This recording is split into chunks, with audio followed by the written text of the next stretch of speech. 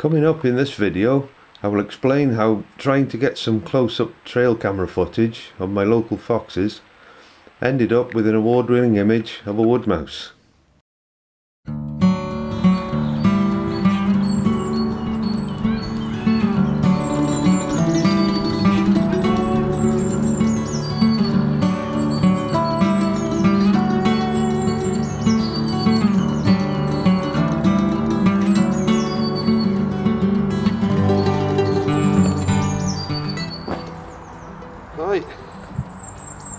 welcome back again.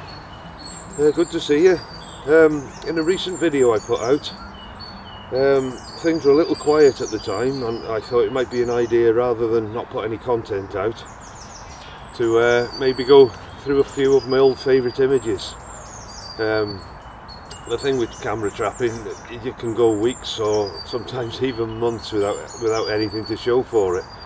So uh, I thought maybe if I if I go over some old images, some of my old favourite images, um, and just show you a little bit of story behind the image and uh, a little bit of the background and maybe how I got the inspiration for it. And you might recall last time uh, I did a little one of these um, story behind the image type things. Um, it was of a fox actively hunting a rat at night, which I managed to capture just down here by this mossy log.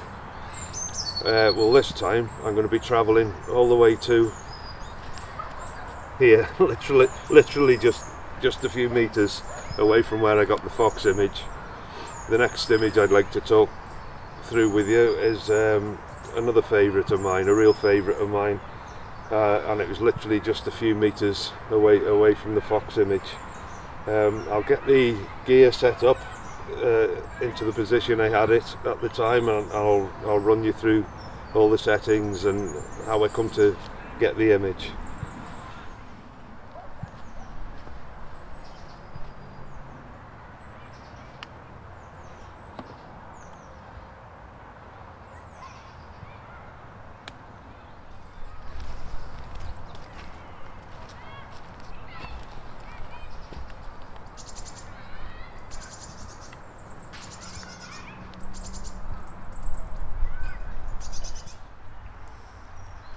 Right, so this is how I had the the shot set up. I had the camera, the lens of the camera pretty much level with the branch and with the my PIR sensor just at the side of the camera housing. You can see it was just a one light setup with a flash in the background with a snoot attached to try and restrict the spread of the light, try and focus it in one one area.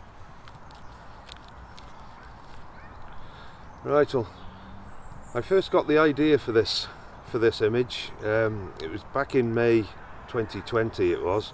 Uh, we were in full lockdown at the time, and um, because of COVID, and uh, I'm lucky I've got this uh, patch of woodland right on my doorstep, so I didn't have to travel anywhere really to to set everything up.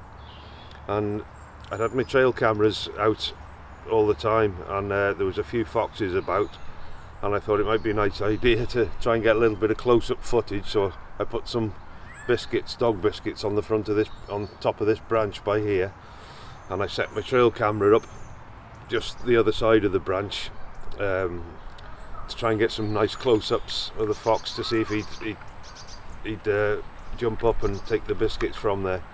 And it was uh, I did manage to get some nice nice close-up images uh, footage of the fox and just as a little tip for those of you who've not heard of this little hack for your for your trail camera, mo most trail cameras only close focus down to within a few feet.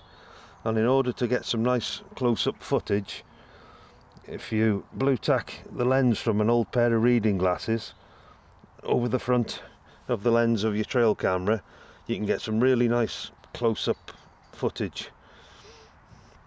And I had one or two other clips uh, that night I was getting a lot of visits from the mice as well, from the wood mice. And um, I thought with this branch being raised off the ground, it might be a it might be a nice idea to try and get go for a silhouette. See if I could try and get a silhouette image and using these these branches on either side of the frame to try to try and to, uh, improve the composition to make you know to frame either side of the image if I could get a mouse sat in the middle here or that, that was the idea anyway. Right in order to get this silhouette shot I was after um, I fitted I fitted my flash with a snoot to try and restrict the light. I didn't want it blasting everywhere. I just wanted to try and keep it in a controlled area um, to avoid any lens flare or reflections. And um, the one thing you have to be really careful of is that none of the light that's coming out from the flash is directly hitting the lens because otherwise you'll just end up with a load of lens flare so what I've done in this instance I kept I keep making sure the flash uh, the out, output of light from the flash is kept slightly below the height of the branch to avoid any any light going straight into the lens. Uh, I don't want to put it down too low because if you've got the flash pointing up all you're going to do is is uh, light the underside of the subject and in this instance I wanted to try and get a nice even rim light all the way around the, uh, the mouse so uh, I had to make sure this was set to the right height uh, in order to achieve that. Over the course of the next couple of nights I managed to capture a couple of images of the mice that came close to what I had in mind but then finally on the third night I got exactly the shot I was after. In this shot the mouse was captured in the perfect position and as there was very little colour in the image I decided to convert it to black and white. A couple of the key elements in this image which really make it work uh, are the separation from the other elements in the image. That little gap between the mouse's tail and the small branches on the right is really important because without that gap the shot would have lost some of its impact. Also, the broken line of highlights that define the top of the fallen tree on which the mouse is sitting.